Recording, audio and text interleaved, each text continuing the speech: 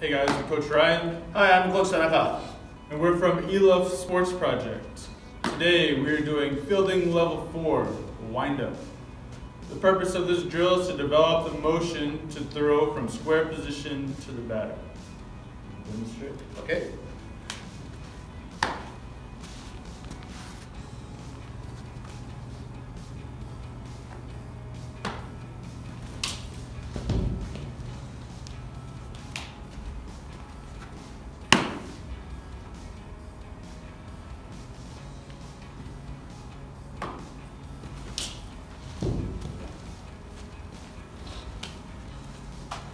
So, three key points to this drill.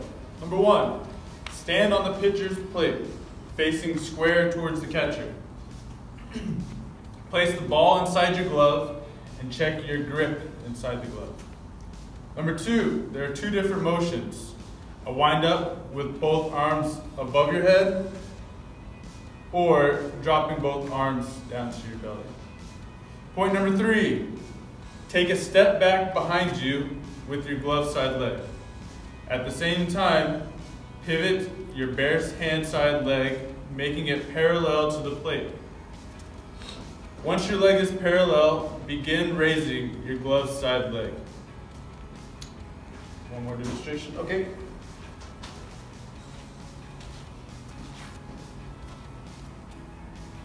Above the head.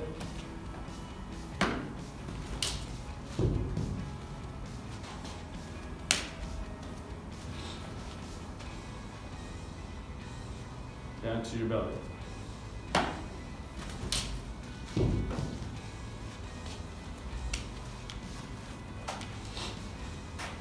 So the outcomes of this drill, they will help you throw with more momentum by using your body weight and shifting when there are no runners on base, and when there is no need to try to pick up. Today, this was fielding level four, wind up. Thanks for watching. We'll see you next time. See you. Bye. Bye.